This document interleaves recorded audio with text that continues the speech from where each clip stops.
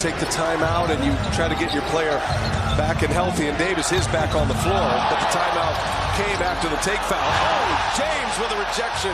Here's Morant in the corner. Missed it badly. Air ball. Coming alive here late in the first into the second. Gets the block. And you see the adjust, same adjustment.